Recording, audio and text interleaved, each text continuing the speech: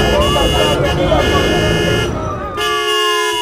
Buenos días, alegría. Pues hasta el día de hoy nos amaneció un poquito nublado, así que vamos a aprovechar para hacer museos. Ya lo teníamos así planeado cuando estuviera el día soleado, despejado, y vamos a aprovechar para hacer miradores y cuando el día estuviera nublado, pues a actividades en el interior. Por eso es que no teníamos tantas reservas hechas. Y es que miren el día de hoy, hasta arriba, hasta arriba, no creo que tengan muy buena visibilidad. Imagínense haber pagado un millón de dólares por un departamento de lujo hasta arriba y no ver nada por el clima. Oigan, y aquí aunque esté fresquecito, las actividades no paren, miren, están haciendo ahí yoga, estiramiento. Y a mí lo que me sorprende es que todo el mundo anda en shortcito, en licra, sin chamarra. Nosotros tenemos frío, pero al parecer para los neoyorquinos esto sigue siendo buen clima. Como que hubo carrera o algo, porque hay muchas carpas, hay música. Acá están las porristas de New York. Para acá vamos. Sí, miren, aquí está la meta, finish.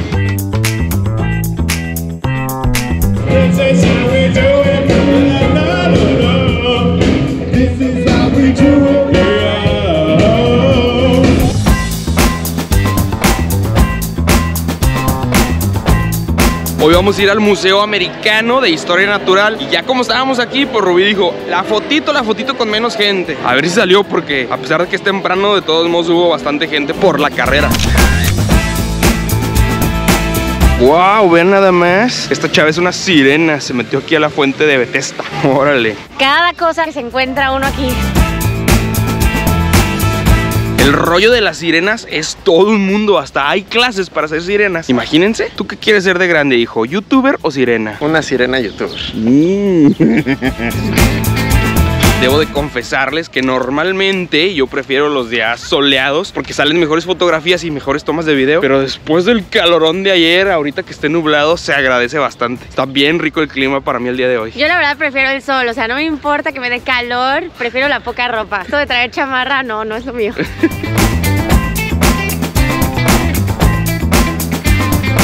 Miren, hasta hay un sendero, una caminata para descubrir los árboles de Central Park. Tienen placas con sus nombres, ¿eh? Qué cool. Y también hay audioguías para ver de qué se tratan los diferentes lugares aquí en el parque. Nomás hay que escanear el código QR y bajar una aplicación. Por aquí tenemos una magnolia. Este es un junípero. Ahora sí tuvimos la experiencia completa, el memorial de Imagine con la canción de Imagine. Imagina tu mundo sin cerveza que tomar. La canción de Rubí en este instante, amigos. Qué triste.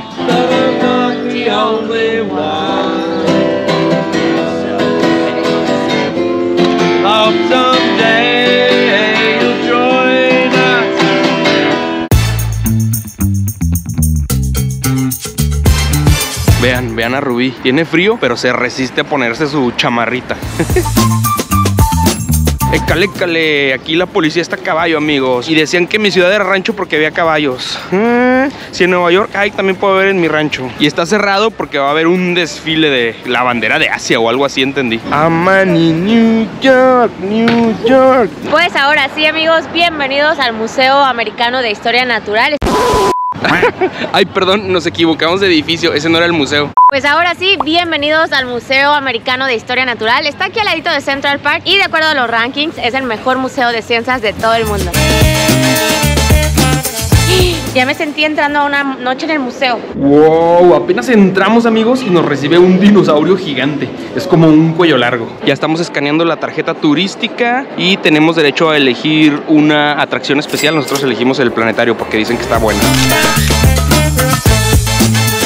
Por afuera puede parecer pequeñito, pero en total son 45 salas en 5 pisos donde hay naturaleza, animales, plantas, meteoritos, culturas. Es muy ambicioso decir que se lo van a echar todo en un solo día y a detalle. La verdad es que no. Necesitan varios días para recorrerlo todo y ponerse a leer todo. Así que nosotros les vamos a ir mostrando los imperdibles de este museo. Sin postal al servicio de la comunidad.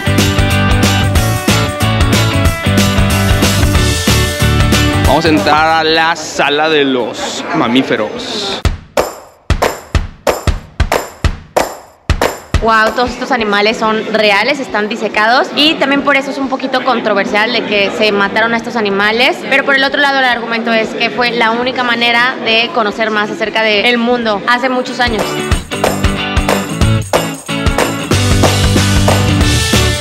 Wow, vean esto, nunca había visto un elefante disecado. Más bien nunca había estado tan cerca de un elefante, está gigante. Que el museo tiene una colección de 45 millones de objetos y solo está expuesto el 3%. De hecho, dicen que lo van rotando con el tiempo. Y la colección sigue creciendo año con año. Vean este cóndor de alas abiertas. ¡Están enormes! En general es un museo como muy oscuro, amigos. Nada que ver con los otros museos como más modernos e iluminados. Amigos, y siento decepcionarlos, pero una noche en el museo no se grabó aquí. Sí está inspirada en este museo, pero realmente se grabó en unos estudios en Canadá. Obviamente hay una sala de México, miren, una cabeza olmeca. Estos son de Tabasco. Está súper padre que dediquen una sala entera a culturas prehispánicas de México. La mayoría de las piezas en este museo son originales, pero también hay réplicas. Por ejemplo, aquí está la réplica del calendario mexica, pero sí es el tamaño verdadero. Y como dato curioso, este calendario está en todas nuestras monedas. Y hay esta música en la sala de los Andes. Miren, con estos objetos conmemoran a los muertos en el Amazonas. Wow, estos son los chamanes. ¿Qué le estará haciendo? Oigan, y se preguntarán, ¿para qué recolectan tantas cosas? Pues todo esto sirve para estudiar, para preservar para el futuro. Por ejemplo, todos los fósiles que se tienen con las nuevas tecnologías se pueden estudiar para saber qué fue lo que pasó en el pasado. Vean esto, si ahorita el elefante asiático que vimos se me hizo gigante, el mamut estaba, era una bestia, un monstruo. Está bien interesante que uno puede ver también cómo trabajan a los investigadores, las muestras que tienen adentro. Oigan amigos, y si les está gustando este video, denle like y suscríbanse a nuestro canal. Cuenta la leyenda que si se suscriben a nuestro canal, este año van a Nueva York. 100% real la leyenda. Cinco pisos llenos de ciencia, historia.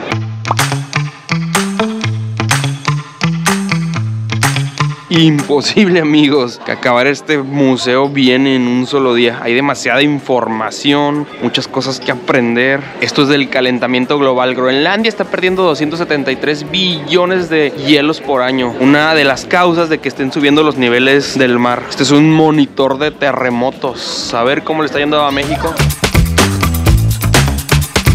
Es un mundo de información. Solamente en esa sala estaba cómo se forman las montañas, los prismas basálticos, acerca del cambio climático, por qué la Tierra es habitable, todo acerca de los terremotos, glaciares, en una sola sala. Este es uno de los imperdibles, es el meteorito más grande encontrado en Estados Unidos y el sexto en el mundo, se puede tocar, así que vengan, te vamos a agarrar vibras espaciales y algo que ha agarrado también millones de personas. Se llama Willamette, pesa 15 toneladas y está hecho completamente de hierro, hierro espacial. ¿Se imaginaban que hay hierro flotando en el espacio? De hecho, ya se está pensando en la minería espacial, ¿eh?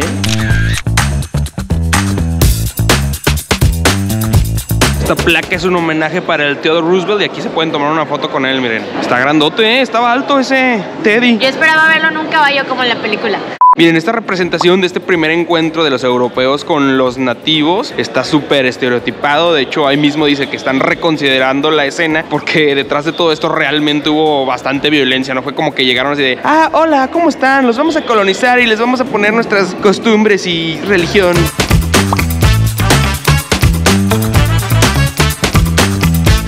Toda esta sala es de biodiversidad y vaya que sí, bastantes especies marinos, de tierra, de plantas, de hongos. Había por allá una medusa gigante. En este museo van a ver mucho la palabra diorama, que básicamente es el fondo de cada escena y la verdad es que están súper reales.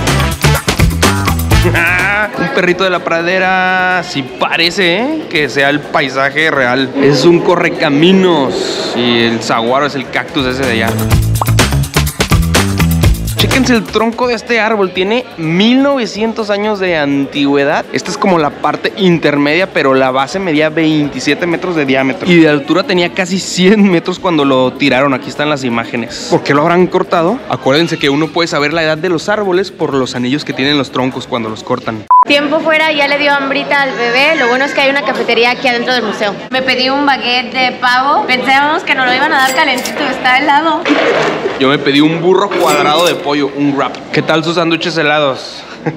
Para calmar el hambre también. Debo admitir que en todos lados en donde hemos probado pollo está muy bien y eso que yo no soy como muy fan porque luego se me hace medio seco. Aquí les dejamos el ticket de nuestro snack, 41 dólares.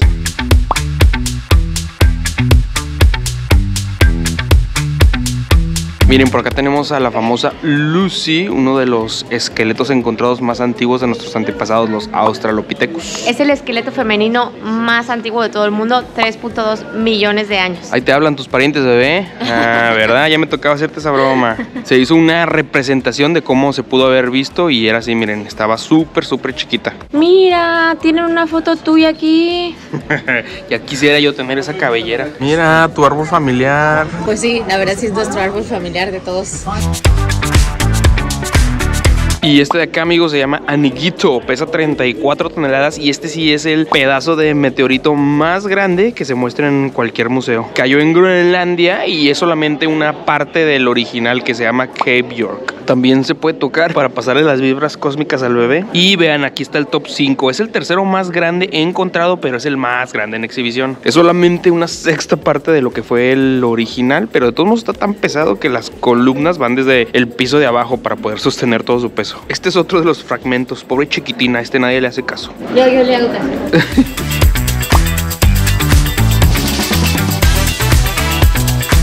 Vean esta piedrota, es una geoda. Wow, está gigante, son 4 metros de altura. Qué bonito está, ¿eh? Wow, esta de acá parece una piedra sacada de los Transformers. Es malaquita y azurita. Pesa lo mismo que tres vacas. A mí lo que más me sorprendió de esta sala son las geodas gigantes. Creo que nunca habíamos visto tan grandes y también la cantidad tan colorida de minerales que tienen. Está impresionante, o sea, es mucho color. Miren, ya encontré mi piedra rubí. ¿Sabían que los rubíes son zafiros pero de color rojo? Y justo al lado de los rubíes está la Esmeralda Patricia. Se dice que es una de las esmeraldas más grandes del mundo y de la mejor calidad. De hecho, sigue en la misma forma en la que se encontró. Este está padre, miren, es cómo se encuentra la piedra y cómo termina ya para su uso en la joyería. Miren, así es como se encuentran los diamantes y así son ya terminados. ¿Qué diferencia? Es la sala de rocas más educativas que he visto. Normalmente en cualquier museo de rocas te ponen el nombre y ya aquí te explican desde qué es una roca, lo más sencillo, hasta cómo el agua cambia la composición de los minerales. Al parecer la sala de los insectos es la que más entretiene a todos los chiquillos. Mírenlos, mis niñotes también. Encontraron un escarabajo gigante. A Hércules. Miren el gusano del algodón. Denle gracias porque mucha de su ropa es por estos animalitos. Chequen esto, es como una hoja moviéndose por su propia cuenta. una hoja viva. Bueno, viva con patas. Están súper bien conservados los animalitos en el insectario. También hay pantallas interactivas por si quieren aprender más de los abejorros y los insectos. Está chido, ¿no? Creo que te está viendo, Jesús. Ah, su. Ve, ve, ve, hazle zoom. Wow, wow, qué loco. ¿Todos esos son ojos? Hay varios tipos de entradas, la general, la que te incluye una atracción y la que te incluye todas. Con el pase turístico tenemos derecho a una atracción. Nosotros entramos ahorita a la función del planetario. Estuvo muy padre, Rubí se durmió, de hecho lo tomó como descanso. Toda la función me dormí. si no les gustan los planetas y no hablan bien inglés, la verdad el planetario no se los recomendamos. Si les gusta el tema del universo está muy padre. Hoy aprendimos que no todos los planetas tienen Campo magnético. campos magnéticos. Creo que lo mejor del planetario son sus peluches en forma de tierra. Muy bonito. Ah, Ay, la tierra con la luna. A ver, haz que gire, bebé, haz que gire. Esa luna loca está borracha, ¿eh? Estos de acá son diferentes, son elefantes africanos, un poco más pequeños que los asiáticos que habíamos visto, amigos.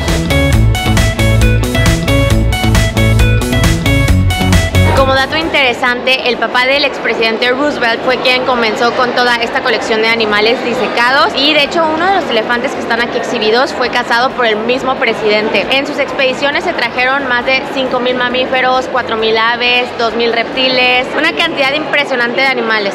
Ahora vamos a entrar a esta esfera del Big Bang. Está incluida con cualquier boleto. ¿Qué es esto? Oh, es como... ¿Quién sabe qué es esto? Ah, mira, hay sillitas. Ah, no, ese es del guardia. Ah, ese es Nueva York, ¿verdad? Pero ve, Allá está Central Park, se ve gigante sobre Manhattan. the history that began Fue una breve explicación, un video de 5 minutos como introductorio para toda la información que está en el camino alrededor de la esfera. Aquí en el camino ahora sí ya ves toda la explicación del Big Bang y el proceso. Yo la verdad es que no soy tan fan de cosas del espacio, planetas, la teoría del Big Bang. Todo esto me lo voy a saltar.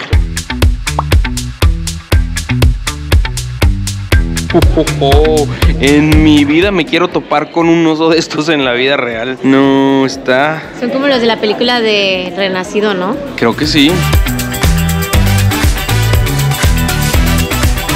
Por aquí tenemos a uno de los animales más raros y exóticos, la ardilla. Sí o sí, tienen que pasar a ver el tamaño de los alces. No me los imaginaba así. no hay palabras. Dato curioso, esta es poposilla real. ¿Será de los bisontes o será de los berrendos? Se me hace que es de los berrendos. Acá están los Bambi, son venado cola blanca. Miren, este nos está enseñando la colita.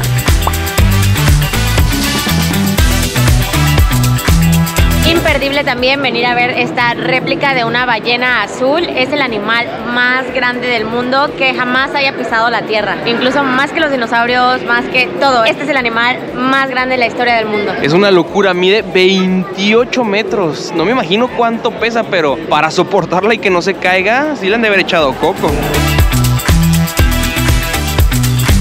Nada, tortuguita, nada, que no te alcance, nada. Azul, apenas vamos en el tercer piso y ya son las 3.10.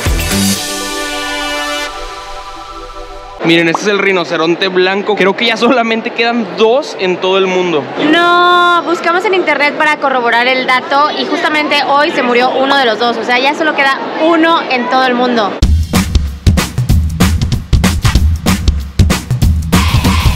Miren, por aquí tenemos una águila calva. Este es el emblema de Estados Unidos. La van a ver por todos lados.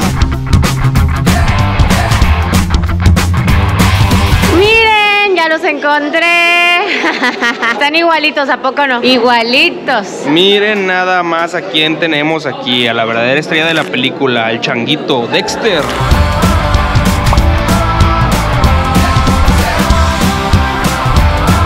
Esta sala es de los nativos de Norteamérica. A Rubí por lo general las salas que más les gustan son como de culturas prehispánicas. Justamente esto sí me interesa. Miren, este pequeño pedacito de flecha demostró que las personas habían llegado al nuevo continente, o sea, América, por lo menos hace 10.000 años.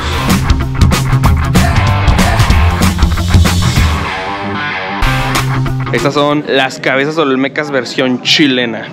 son las estatuas de Moai, de la isla. ¿Cómo se llama, nena? Isla de Pascua. Isla de Pascua. Tontón, quiere un chiclón. A ver, habla, habla. En estas islas se hicieron casi 900 de estas esculturas y en honor a los ancestros de esta cultura chilena, que bueno, ni siquiera está tan cerquita de ese país, está en medio del mar, lejísimos.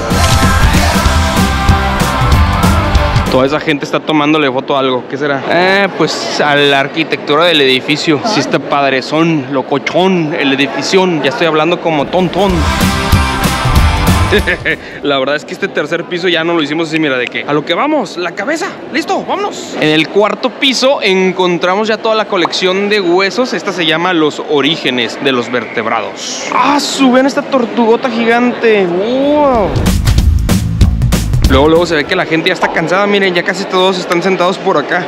¿Cómo les caería un pescadito frito de este tamaño? Miren, una mandíbula de tiburón o megalodón, los ancestros de los tiburones. ¡Wow! Este es otro cuello largo. Es un titanosaurio, vean, está tan grande que la cabecita la tuvieron que sacar de la sala. ¡Qué loco! Por acá tenemos a Manny el mamut de la era de hielo. Y esta es Ellie, ¿o cómo se llamaba Jesús? Se supone que gracias a los avances de la tecnología, próximamente ya va a ser posible comer carne de mamut. No van a revivir mamuts, pero sí van a poder reproducir su carne. Los avances de la biotecnología y gracias a las muestras de ADN que se han rescatado. Wow, de verdad estos esqueletos están impresionantes. Algo que sí les tenemos que advertir amigos es que tengan mucho cuidado porque en este museo les pueden poner los cuernos. Quedamos muy sorprendidos por lo grande que pueden ser los venados, alces o como se llamen. Vean esto. Miren, esto está bien interesante. La evolución ha hecho que los cazadores más eficientes son los que han sobrevivido y las presas más rápidas también son las que han sobrevivido. Eso es la evolución, una carrera para sobrevivir. Segundo break, este bebé ya no quiere que vea más museos, ya quiere que me siente. Aquí en el cuarto piso hay como una salita donde hay bancas con vista a Central Park. Ay, aquí me quedo yo, síganle ustedes. Avísenme cuando terminen. Venga bebé, si se puede, dos alas más. Ya lo lograremos. Vámonos, vámonos, dos alas más. ¿Qué es esto? Vean, es uno de los antecesores de los rinocerontes. Thirsty Rhino dice. ¿Qué significa? Este, rino con sed. Este de acá se llama Triceratops, de tres, porque tiene tres cuernos. Y se piensa que utilizaban sus cuernos para defenderse de sus depredadores como el tiranosaurio Rex. Lo más impresionante de todos estos esqueletos es que son reales, no son réplicas. ¿Cuántos miles de años? Bueno, más bien millones de años. Una de las cosas que más nos ha gustado de este museo es que la información está muy bien organizada, todo está bien explicado y por lo mismo es muy fácil de entender. Yo la verdad no sé mucho, es más, no sé nada de dinosaurios. Y con esta pared entendí que los dinosaurios no vivieron todos al mismo tiempo, hubo periodos. La película de Jurassic Park nos mintió. T-Rex nunca convivió con el cuello largo. Miren, si Rubí y Jesús siguen en la lela, este dinosaurio se los va a comer, ¿eh? Bebé, cuidado, cuidado que te come el dinosaurio. Última sala y aquí encontramos a otra de las estrellas de la película, amigos. Rexy.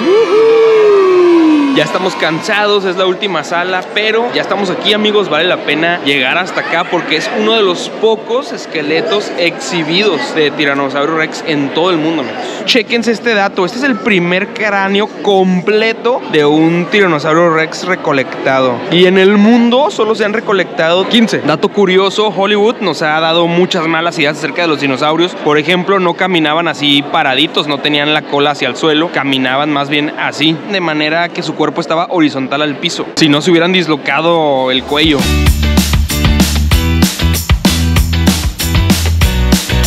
Pues despídanse del museo, amigos. Este Barosaurus nos dice adiós. Wow. Yo no me quiero ir, está bien interesante. Pero Rubí está bien cansadita. Vámonos, pobrecita.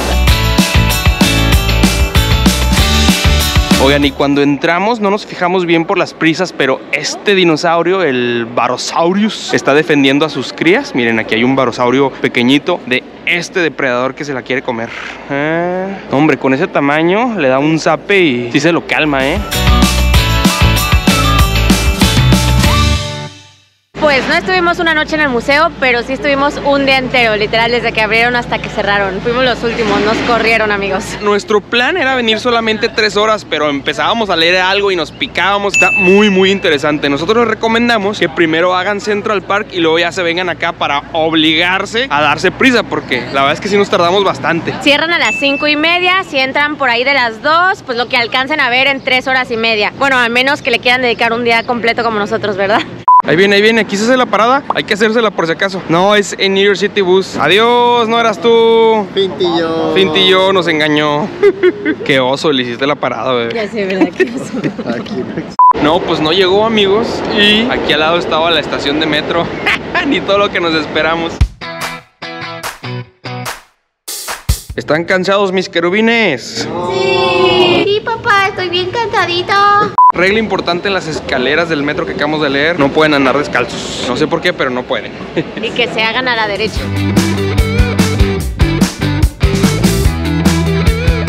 Y como andábamos aquí cerca de Central Park, de una vez venimos a conocer el famoso McGee's Pub, que es el barecito en el que se inspiraron para hacer el pub de la serie How I Met Your Mother.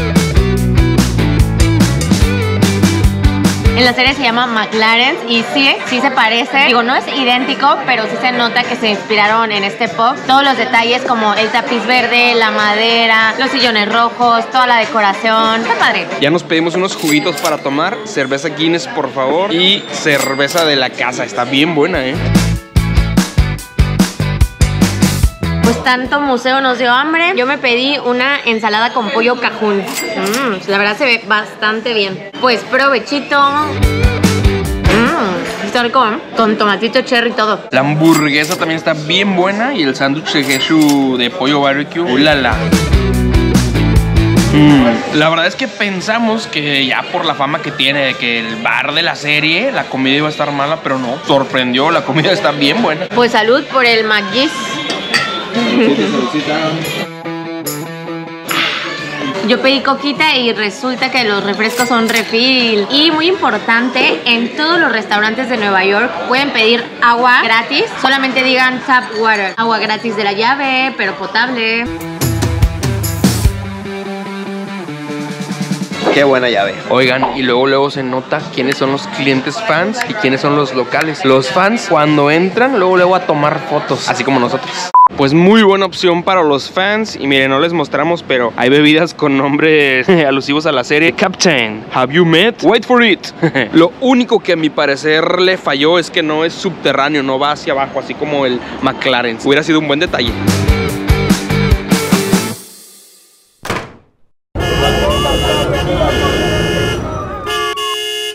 Buenos días, alegría. El día de hoy vamos a ir a la Estatua de la Libertad, pero antes una pequeña parada para tomarnos una fotito.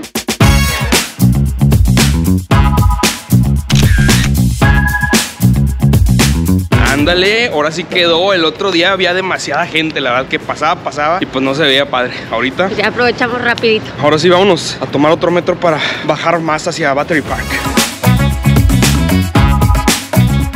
Miren, en esta estación hay escaleras eléctricas, elevador y escaleras normales, donde hay un vagabundo.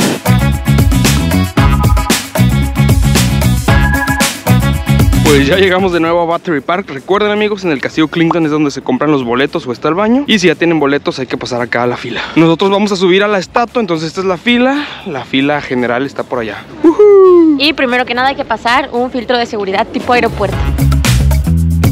La única forma de llegar a la Estatua de la Libertad es por medio de ferry, ya sea desde Nueva Jersey o desde Nueva York. Desde Nueva York es desde Battery Park. Y la única empresa autorizada para embarcar y desembarcar en la isla es Statue Liberty Cruises. Así que no se los vayan a chamaquear, solamente compren con ellos. Aquí afuera hay personas que les van a intentar vender boletos, no caigan, la mayoría de ellos son estafas. Mejor compren con los autorizados, aquí les dejamos la página oficial o directamente en taquilla. Allá está, allá está.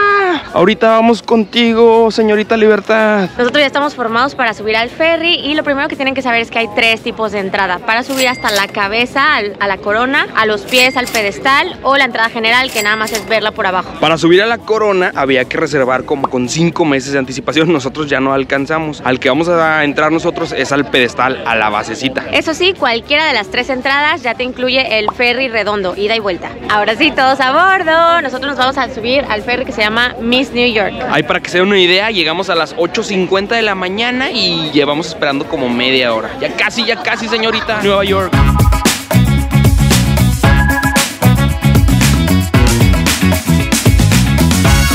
Díganle adiós, adiós, adiós. A veces hay demasiada gente, amigos, que hay que esperar a que llegue otro ferry. Por eso es importante llegar tempranito. Esos que se quedaron son los que no madrugaron. Uno se puede ir aquí paradito en el barandal para tomarse las fotitos, no más que el vientecito ya caló, ¿eh? Está frío. Está fresquivón, pero vean la vista. ¡Miren el reloj de Colgate! Creo que es lo más cerquita que lo hemos tenido. ¡Y la estatua! ¡Ahí vamos! Por acá tenemos New Jersey. Esta que está aquí es Ellis Island. También vamos a ir a esa isla el día de hoy, está incluido. Y ya casi estamos llegando con la famosa estatua.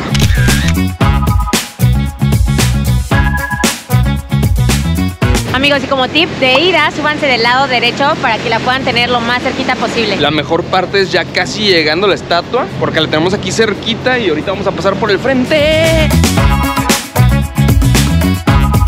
Definitivamente la emoción se siente ya desde el crucero. Está padrísimo que la va rodeando. Pasa por un ladito, luego por enfrente, luego por el otro lado, hasta que llegamos a la isla. Hazle como la estatua, hazle como la estatua, ¿Cómo bebé. así? Sí, pero hacia atrás, hacia atrás, voltea a ver hacia allá. Ándale, ándale, igualita. La rubí de la libertad. Al bebé ya le dio hambre. Antes de bajar, se me antojó un pretzel aquí en el crucero. La experiencia del ferry se pasa de volada, así que disfrútenla. Yo había visto muchos comentarios de gente que decía que se desilusionaba cuando llegaba porque pensaba que era mucho más grande, pero yo la veo enorme. Está gigante. Digo, uno cuando la viene viendo desde el ferry, pues sí se ve chiquita y a lo mejor y ya se acostumbró uno al tamaño gigante de los edificios. Pero véanla desde aquí abajito para que vean. Está enorme. Lo primero que vamos a hacer nosotros es subirla, amigos. Hay varios museos aquí abajo, cosas que hacer, pero vamos a ir al pedestal. Nuestra entrada incluye llegar aquí. No está permitido meter ninguna mochila ni objetos muy grandes, así que hay que dejar todo en los lockers. Lo único que podemos llevar son cámaras y celulares. A ver, miren esta maquinita. Le echamos un dólar y nos lo va a cambiar por moneditas para los lockers. ¡Oh! ¡Cuánta tecnología! Rancheros en la gran ciudad. No quiere. No nos puede vencer. Ahí está, ahí está, ya lo agarró así. ¡Eh! Hay que guardar todo aquí en el locker. Mochilas, todo, echen todo. No aplasten los roles de canela. Echamos la de 25 centavos que al final nos van a regresar y listo. ¡Qué emoción! Estamos en la Estatua de la Libertad y vamos a entrar. Ahí te vamos. Se ve bien padre, ¿no? Lo primero que vamos a encontrar es un museo, amigos. Uno puede tomar las escaleras hasta llegar a la parte de arriba o hay un elevador que vamos a ocupar porque Rubí se nos cansa, amigos. Y yo también me canso. Miren, en toda la base aquí hay un museo acerca de la construcción de la estatua. Este museo solamente está incluido para los que compran el boleto del pedestal o de la corona. El boleto general no incluye este museo. Acá hay un dato interesante. Esta señora, Emma Lazarus, fue la que donó el poema que está inscrito en la placa de la Estatua de la Libertad. Se llama The New Colossus. Definitivamente la estatua es uno de los símbolos de no solo Nueva York, de todo Estados Unidos. Uno la asocia luego luego a este país y pues está por todos lados. Ahora sí que se ha explotado al máximo. Miren, publicidad en ropa, comida, artículos. Vean, hasta se utilizó como propaganda para enlistar gente en el ejército. De hecho, desde la Primera Guerra Mundial es cuando empezó a ser el símbolo de América.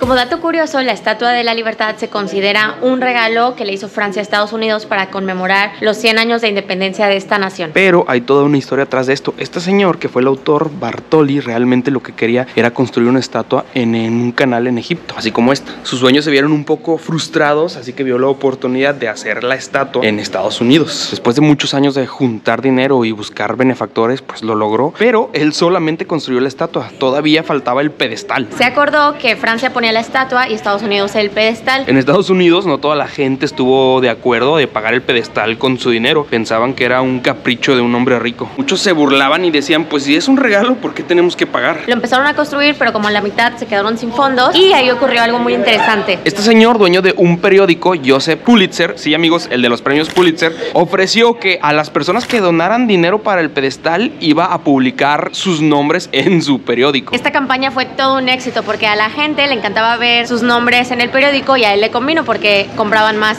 su periódico. Y el pedestal se logró completar. Interesante, en Francia una de las maneras para recolectar dinero fue licenciar la imagen de la estatua. Aparecía en productos, botellas, pósteres, publicaciones.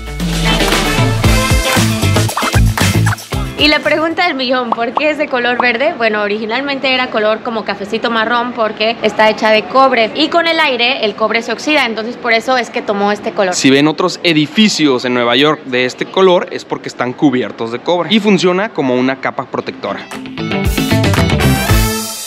Rubí y yo nos venimos por el elevador, Jesús se fue por las escaleras. Estamos subiendo esta parte, miren. Nos ganó Jesús, nos ganó Jesús. ¿Qué tal estuvo? Ah, Estuvo cansado. ¿Cuántos escalones contaste? 167. 167. Y después de 176 escalones o 5 pisos en elevador, llegamos a este mirador con esta increíble vista. Oh, de hecho se alcanzan a ver casi todos los rascacielos, los miradores. Miren, está el World Trade Center, luego sigue el Summit, al ladito está el Empire State y hasta la orilla está el Edge. El que no alcanzamos a identificar es el Rockefeller. Creo que lo tapan los otros edificios. Pero se ve el Chrysler. ¿Dónde está el Chrysler? ¿En medio? Ah, sí, también está el Chrysler. Ahí viene llegando otro ferry. Ahorita vamos a estar así de gente. Todo el día, la verdad. Helicóptero. También vamos a subirnos a un helicóptero para ver Nueva York desde arriba, amigos. Acabamos de voltear para arriba y hasta nos mareamos un poquito porque como están pasando muchas nubes rápido, parece que se mueve. Miren, ese es uno de los cruceros que están incluidos en los pases turísticos. No se detiene aquí en la isla, pero pasa aquí cerquita para tener la vista de la estatua. Y la estatua en sí, o sea, de aquí hasta la punta son 46 metros y el pedestal, o sea, de aquí hacia abajo son 47 metros. En total, del piso hasta arriba son 93 metros de altura. Vamos a darle la vuelta para tener la vista de 360 grados. Por acá atrás tenemos a Staten Island y el puente que lo conecta. Más turistas llegando. Y acá abajito están en construcción. Acuérdense que aquí en Nueva York siempre están en construcción por todos lados. Ya van varias vueltas que nos da ese helicóptero, ¿eh? Qué vista de tener. Por allá está Ellis Island. Y de nuevo regresamos a las vistas de los rascacielos. Definitivamente la mejor vista sí es hacia acá, hacia los rascacielos. La realidad es que lo padre de aquí es para apreciar las vistas y para decir que subiste a la Estatua de la Libertad. Pero en sí, la vista del monumento, pues de aquí la verdad no se ve muy bien. Y por lo mismo de que el espacio es muy reducido, los pasillos son pequeños, no hay tantos boletos. Lo mismo ocurre con la corona, todavía es más pequeño, entonces por eso hay que reservar con tantos meses de anticipación. Miren, aquí se ve la corrosión que chorrea, yo creo que cuando llueve. ¡Qué loco! Lo que sí es que aquí es la parte más cerquita en donde se pueden apreciar como los detalles, los pliegues de la ropa. Está padre, está padre, también está padre. No va a salir foto con la estatua, pero uno de aquí la contempla bien. Los relieves que hay en la base de la antorcha se alcanzan a ver desde aquí. Vean, hasta tiene un callo en la mano derecha. Nah, no es cierto. Híjole, ya me morí de estar viendo hacia arriba. Oigan, ¿y a poco no se le está rifando el Jeshu tomándonos todas las fotos y videos para que salgan chidas hacia arriba? Gracias, Jeshu. Contrátenlo para viajes. Y para subir a la corona, los que tienen tickets son otros 172 escalones para allá si no hay elevador. Antes, hace muchos años, se podía subir hasta la antorcha. Ahorita pues ya no. Corona, pedestal o el general. Chequen esto, si hace la diferencia venirse desde tempranito. Esta es la fila para subir en el elevador. Cuando nosotros llegamos solamente había tres personas adelante de nosotros. A la salida del pedestal están estas otras plataformas en donde se empieza a ver mejor la Lady. Ándale, miren, esta me gustó todavía más. Ahora sí ya le vemos la carita y todo. ¡Guau! Esta plataforma es la mejor porque se aprecia muy muy bien, está muy cerquita y no hay mucha gente. Aquí sí, fotito obligada. Dato curioso, el interior de la estatua lo diseñó Gustavo Eiffel, el mismo de la Torre Eiffel, y el exterior, ese sí fue Bartoldi. De hecho, la cara de la estatua es la de su mamá. Y la estatua se construyó totalmente en París, llegó a Nueva York por medio de barcos en 214 cajas. Realmente como la vemos es un ensamble de 214 piezas. Nos gustó mucho que aquí casi no hay gente pues, para tomarse la fotita. A comparación del área de allá abajo, pues despídanse del pedestal y sus plataformas. Ahorita vamos hacia allá afuera, que es el área general. Miren, arriba no se permiten mochilas, tripiés grandes, sombrillas, comida o chicles. Y pues esta estatua está llena de símbolos. En la mano izquierda está sosteniendo una tablilla con la fecha de declaración de independencia. En la mano derecha sostiene una antorcha que significa el camino hacia la libertad. Y desde aquí no alcanzamos a ver, pero en los pies también tiene unas cadenas rotas que también representan libertad. También los picos en la corona representan los rayos del sol que son como la luz y la esperanza. Y así es la vista desde el área general, la que está incluida con todos los tickets turísticos. Hay un poquito más de gente, pero la verdad también te puedes tomar muy buenas fotitos desde aquí. Aquí es el mundo de las fotografías, así que que no les dé pena poner su pose más exótica para retratarse con la estatua. Fotógrafo ganón, también le tomamos fotitos. ¿Qué es eso? ¿Qué está pasando? ¿Por qué ese barco está sacando chorros de agua? Wow, es que por donde le vean, hasta desde atrás se ve súper padre. Una recomendación muy importante amigos, cuando compren o reserven los boletos van a tener horarios. Todas las entradas tienen horarios, pero para la entrada general y la de pedestal no importa mucho ese horario, lo que importa es la fecha. Por ejemplo, en nuestro boleto tenía horario de la 1 de la tarde en pedestal, pero nosotros nos venimos desde las 9 de la mañana. El único en el que sí se respetan los horarios que dice el boleto es la entrada de la corona, por lo mismo de que hay muy poquitos espacios. Ahora vamos al museo que está incluido con todas las entradas.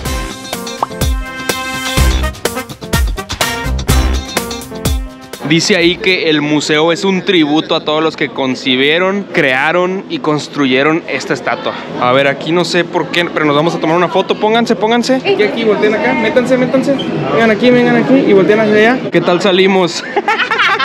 Que hecho volteando por otro lado. A ver, hay que elegir siete cosas que para nosotros representen libertad. Expresión sí, ¿no? Expresión sí, a ver, échale. Recreación otra vez, sí, otra vez. Oportunidades, muchas oportunidades. 7 de 7, listo.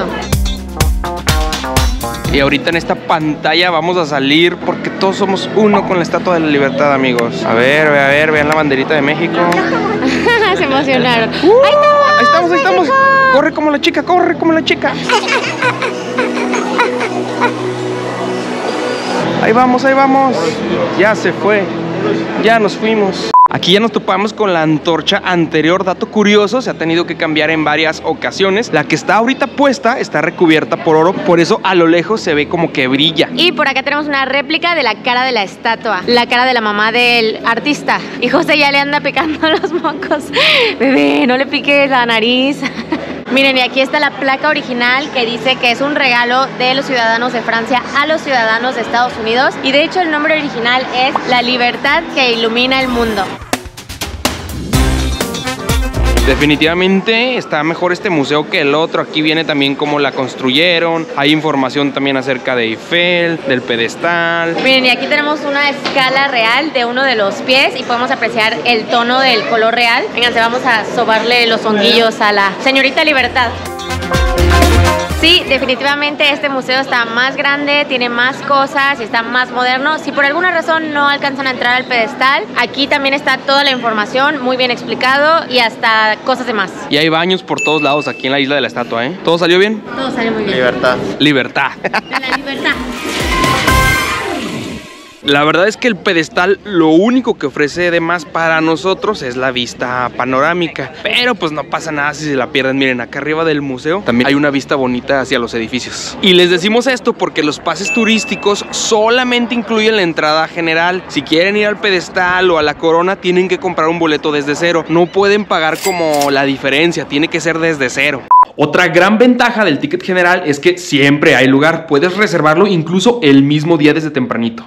Otro tip importante, pregunten en los museos porque luego hay audioguías que ya están incluidos, entonces para escuchar las explicaciones en su idioma. Adiós, señorita Libertad. Miren, acá está la fila de los que empezaron desde New Jersey. Nosotros empezamos desde New York. Todavía nos falta visitar otra isla.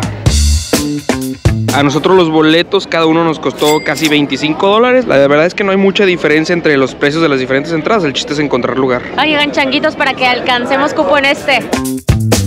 Se logró, amigos. Sí, alcanzamos a subir a este barco. Y justamente se llama Miss Liberty, así que ahora sí aplica la canción de Y se marchó, y a su barco le llamó Libertad. Omitan nuestra desafinada voz, pero hazme corito. Mi corito.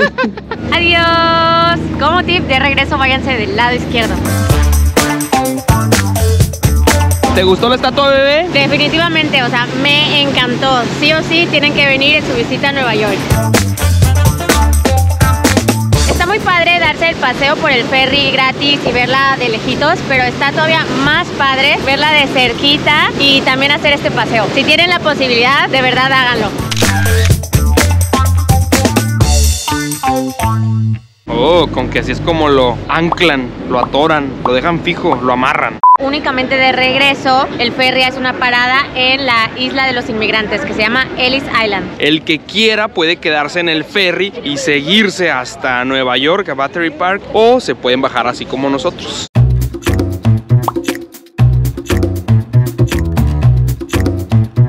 Este es el Museo Nacional de la Inmigración y aquí lo más importante de entender es que realmente Estados Unidos se pobló gracias a los inmigrantes que llegaron del viejo continente al nuevo continente en búsqueda de nuevas oportunidades y una vida mejor. Pero realmente la llegada de inmigrantes comenzó desde 1550 y a lo largo de 300 años es que estos pobladores construyeron una nueva nación que hoy se llama Estados Unidos. Chequen este dato, de 1892 a 1954 pasaron por aquí 12 millones de inmigrantes. Y en realidad fueron muchas las razones por las que vino la gente, algunos por desastres naturales, epidemias, enfermedades, otras incluso en contra de su voluntad. Se dice que más de la mitad de las personas en el siglo XVII vinieron a la fuerza. También durante esta época se trajeron a millones de esclavos de África al nuevo continente América y se dice que de hecho fueron la clave para construir la riqueza de esta nueva tierra. Miren, los esclavos de África llegaban desnudos, asustados, ni siquiera sabían en dónde estaban y los vendían como productos, como propiedades. Otro dato interesante es que a diferencia de países latinoamericanos, acá en el norte no hubo mestizaje. Acá se fueron desplazando a todas las tribus nativas. Miren, aquí en este mapita por año se ve cómo poco a poco se fueron desplazando. Al principio todo el mundo era bien recibido, llegaban sin papeles, sin restricciones, sin avisar. Pero llegó un punto en el que empezaron a controlar quién se entraba y quién no. La primera nación que fue excluida fueron los chinos. También se rechazó a mucha gente por racismo o incluso por enfermedades. De hecho, el edificio ahorita donde estamos, muchos años funcionó como tipo aduana en la que se hacían exámenes médicos a toda la gente que llegaba y se decidía si entraban o no. También llegó un punto en el que pusieron cuotas mensuales de que ya solamente 100 alemanes al mes, 20 italianos al mes. Miren, y justamente en esta sala es donde al 2% de toda esa gente les negaron la entrada. Desde tiempos ancestrales negando visas. Y era todo un proceso porque también había parte legal, parte mental. Revisaban ya bastantes cosas. Y siempre empezaban con la pregunta, What's your name? ¿Cómo te llamas? Oh, mi Dios. ¿A quién le suena familiar? Oigan, está grandecito el museo, ¿eh? No pensábamos que estuviera así de grande. Ahorita andamos en el segundo piso. Este salón de aquí arriba está bonito.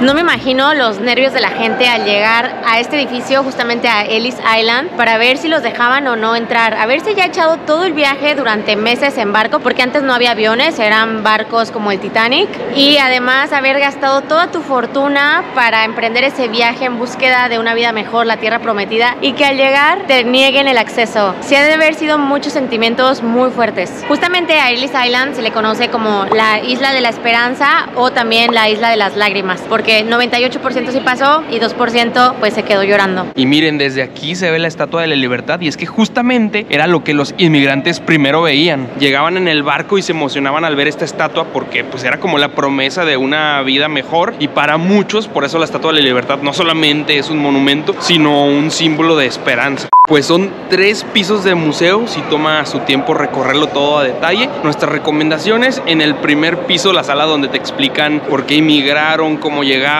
todo el contexto. Y en el segundo piso, cómo fue todo el proceso cuando llegaron aquí a Ellis Island. Visualicen aquí a miles de personas a diario registrándose y esperando a ver si los dejan pasar o no. Aquí también hay audio en tu idioma gratuito.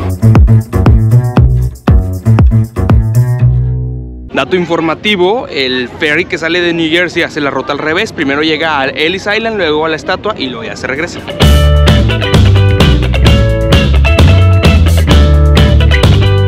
Oigan, no nos habíamos fijado, pero este siglas es un carrusel moderno, es de peces. Estos sí son los carruseles del futuro. Órale, suben y bajan y aparte dan vuelta en su propio eje. ¿eh? ¡Qué moderno! Y prenden el color.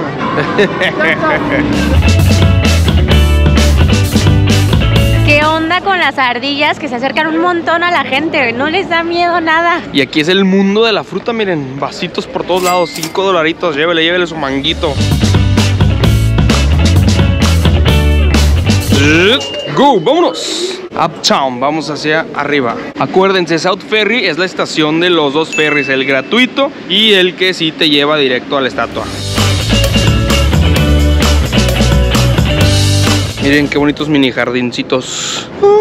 Muy coloridos. Algo también que van a encontrar aquí mucho en Nueva York es basura afuera, bolsas, muchas. Sobre todo en la noche. Es cuando los negocios, los locales y las casas más la sacan.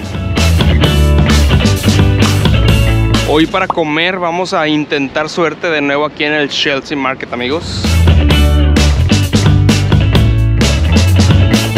Como les decíamos el otro día, todo este mercadito antiguamente era la fábrica de Nabisco, la que hace Chips Ahoy, Ritz, Oreo. Y algo muy padre de este lugar es que trataron de conservar todo ese estilo industrial. Y hay muchas referencias a la fábrica. Miren, así es como estaba antes, como se veía el edificio cuando era una fábrica. Y curiosidad, las Oreos originales podían ser rellenas de vainilla o de limón. ¿Qué comparan? El otro día se veía bien vacío, bien solo. Ahorita sí se ve muy vivo. Está muy padre la esencia, así como todo viejo, antiguo. Y hasta tiendas de ropa hay. Se ven bastantes opciones, amigos. Y ya nos llegaron como tres olorcitos muy, muy ricos. Por acá, quién sabe qué sea eso. ¿Será como hindú? Y acá están los tacos de la otra vez. ¡Wow! ¡Cuánta fila! Por acá tenemos otra referencia de las Oreos. ¿Sí se podrán comprar aquí? Pues nos hizo ojitos un localito con comida mediterránea. Yo me pedí un pan pita con ratatouille. También se pidieron pan pita con cordero y con carne molida. Pues ya por tener chilito se ve bastante bien. Ya extrañamos lo picante, amigos. Provechito, provechito. Está muy rico. El mío es un pita con kebab y Jesús se pidió una cheeseburger. Bueno, un pita con como tipo hamburguesa de queso. ¿Qué tal está? Ajá, vean esa cara, vean esa cara. o ya lo tengo muy hambreado o si está muy rico. A ver el mío. Está bien bueno el pan, ¿eh? Bueno, todo está bien bueno. La coliflor está súper tiernita, se deshace así, como si nada. Parece puré de coliflor en la misma coliflor. A ver, hay que echarle todo el ambiente. Y ahora sí, ahora sí, ahora sí. Qué sabrosa está la coliflor. Ya le pusimos de los chilitos picados que nos dieron, le da un buen toque, ¿eh? porque el chile grande no pica, amigos. Pero este sí. Para tomar una cervecita de barril. A su salud, amigos. Salud, salud, salud, salud. Salud, bebé, con tu Salud, coquita. salud con la coquita, salud. Aquí les dejamos el ticket con el total para tres personas. Oigan, no sé de dónde sacamos la idea de que aquí todavía podías probar una Oreo acá artesanal, especialona, pero no, amigos. No encontramos nada. Ahí si ustedes la encuentran, pues nos dicen. Bastantes lugarcitos de comida, ¿eh? Aquí cerquita está el mercado del Muelle 57 y también está repleto. Lo padre de este es que hay vista hacia el río. Algo que nos había faltado probar todos estos días son los ostiones. Justamente en estos ríos, amigos, hay granjas de ostiones y almejas y pues los van a ver que los venden por todos lados. Pues de una vez vamos a probarlos. Miren, me pedí uno del río del este, otro del río del oeste y estos son clams. La verdad es que no sé cuál es la diferencia entre el oyster y clam, pero eh, pues hay que probar todos. Creo que son almejas y ostiones. Empecemos de una vez con la pequeñita, la almeja. Wow, está bien buena, ¿eh? Sí, sí es almeja. Clam es almeja. Este es el ostión pequeño del este, se ve más baboso. Vamos a ver qué tal está. Sí está más baboso. y luego me pregunta, ¿con todo yo? Sí, con todo. Una pizquita de pepino, una pizquita de cilantro y una pizquita de alga marina. ya le dije, bueno, mínimo échale mucha salsa tabasco para que pique un poquito, amigos. Vamos por la otra almeja. Están sabrosas. Y por último, la que el chavo me dijo que era su favorita, el oyster de West River, el ostión del río del oeste. Wow, está bien saladita. Dos preguntas. ¿Cuál te gustó más? Y de México acá, ¿cuál prefieres? Mi favorita sí fue la recomendación del oeste y la verdad es que para almejas nada le gana a las chocolatas de La Paz. Sí estuvieron ricas estas, pero nada como mis chocolatitas. Miren, el departamento de bomberos tiene un barco. Órale, por si se quema un edificio de la orilla o si se está quemando un barco, ¿o ¿para qué servirá? Arriba del mercado 57 hay un rooftop, es gratuito subir acá. Vean la vista. Desde aquí se ve el parque de Little Island, ¿se acuerdan que fuimos ahí? Y allá atrás, por allá atrás está el One World. ¡Uh! Y ese ya es New Jersey. Estábamos indecisos si venir acá arriba o no, dijimos, vamos a dejarlo a la suerte. Si hay elevador, subimos. Si hay escaleras, pues no. Si hay elevador y qué bueno que sí subimos. La vista está genial. Miren, uno puede traerse su comida de allá abajo del mercado. No pueden ingresar alimentos de afuera, pero acá se pueden hacer su picnic con lo que compran abajo. Y pues a gustamente contemplar la vista y disfrutar del parquecito.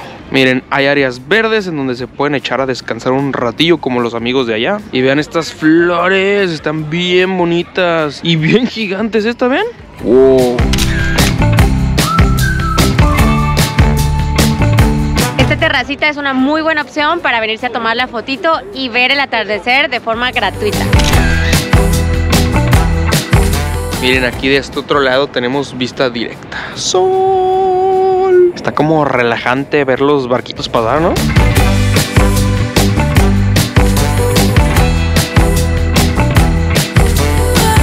Está muy padre que casi no hay gente. Yo creo que todavía no es tan conocido. Oigan, y qué mejor manera de disfrutar del atardecer que con un rol aplastado que tenemos cargando todo el día del hotel. Uno puede agarrar de que fruta, pan y pues eh, dijimos, hoy vamos a llevarnos un rol por si nos da hambre. Es como el sándwich aplastado que te llevabas a la escuela y nunca te comías. Pero este sí no lo vamos a comer ahorita.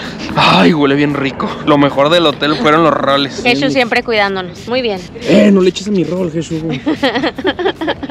Miren nada más, ese glaceo bien compactado en la mochila. Mmm. Ay, ay, se me cae. Muérdele, muérdele, muérdele.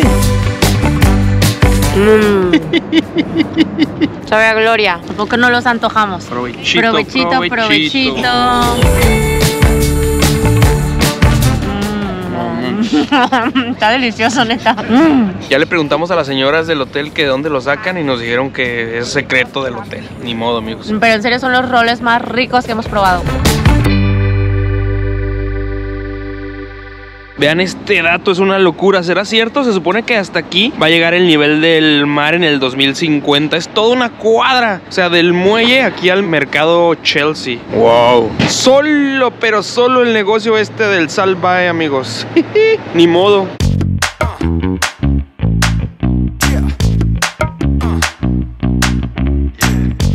Pues aprovechando que estábamos cerquita, al ladito del mercadito de Chelsea Market, venimos a Starbucks Reserve Roastery. ¿Lo dije bien? Eh, eh. Sí, amigos, venimos a un Starbucks y no es que seamos fans. De hecho, nosotros en México ni siquiera tomamos Starbucks. Preferimos comprar café local y prepararlo en nuestra casa. Pero este no es un Starbucks cualquiera, porque aquí mismo se muele y se tuesta el café. De hecho, está súper interesante. Desde que entras, se ve el contenedor gigante donde se almacena el café, la tubería de cobre que va directito hasta donde te lo sirven. Es más como venir a vivir la experiencia, una atracción turística. Miren, ahí les va el 360 de la tienda para que lo conozcan. Por acá tenemos una de las barras con los panecitos. Hay productos, obviamente, pues para la- su compra. Allá arriba hay un barecito acá con todo coquetón. Está como obscurito, como muy de lujo. Acá abajo tenemos otra barra. Acá están los aparatos en donde tuestan el café. Y acá al fondo está la sección de la comida italiana. Venden pizzas y ahí también hornean el pan. Y pues ya ordenamos. Obviamente que no pedimos un café normal, pedimos algo exótico. Bueno, esta es una malteada que tiene cold brew, o sea, café en frío, helado de vainilla y chispas de chocolate. Está bien buena. Bueno, de hecho, esto es de Jesús, pero ya me la gandallé. Ya, toma Jesús, toma ya.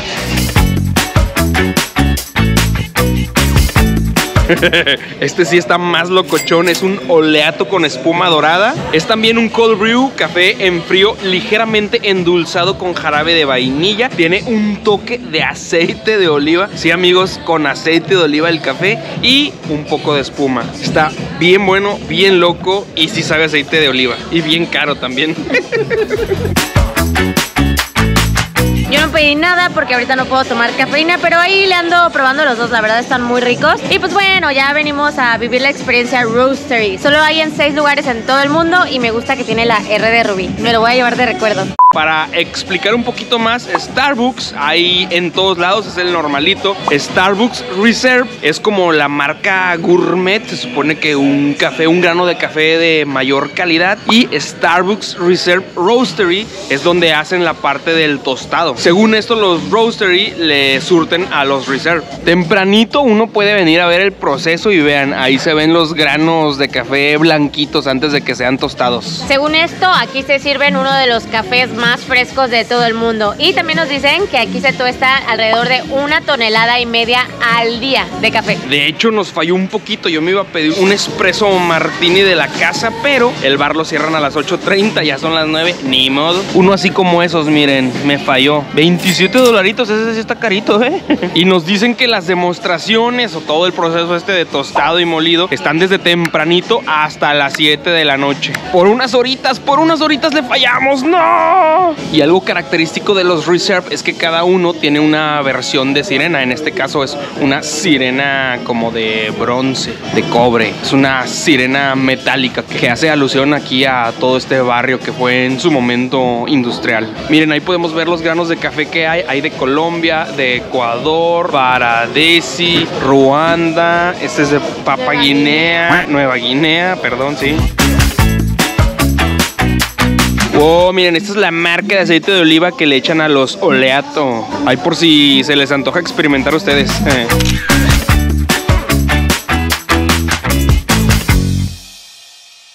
Pues ya saben amigos que la estamos regando para que ustedes no la rieguen. Si les interesa este mundo del café, vengan antes de las 7 de la noche, que es hasta la hora en la que tuestan y hacen todo el show de café. Y la tienda la cierran hasta las 10 de la noche. Miren, y este barrio se llama Meatpacking porque aquí es donde estaba el rastro y todas las fábricas que se dedicaban a empacar la carne. Es por eso que aquí pusieron la fábrica de Oreos, porque tenían acceso directo y rapidito a la manteca. Me asusté. eh, ya ven que todo se conecta. Beep, Go. Muy lento. Ahora sí, vámonos. Oigan, ya van dos chavos que pasan y tocan este que para la suerte, pues a ver, para la buena suerte. Más vale, más vale. Ya buscamos en internet y hay más de 100 esculturas en esta estación y muchos tienen el signo monetario con dos líneas.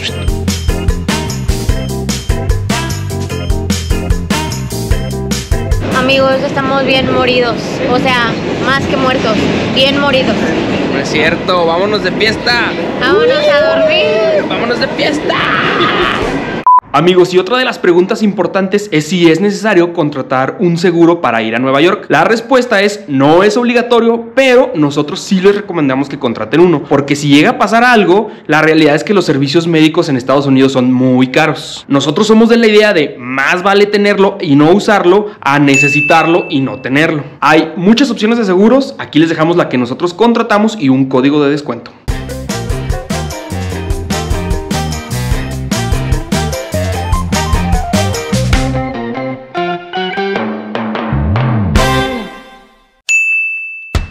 Y con ustedes las vistas de día de Top of the Rock. A ver si ahorita de bajada vemos a Jimmy Fallon. Y realmente lo que venimos.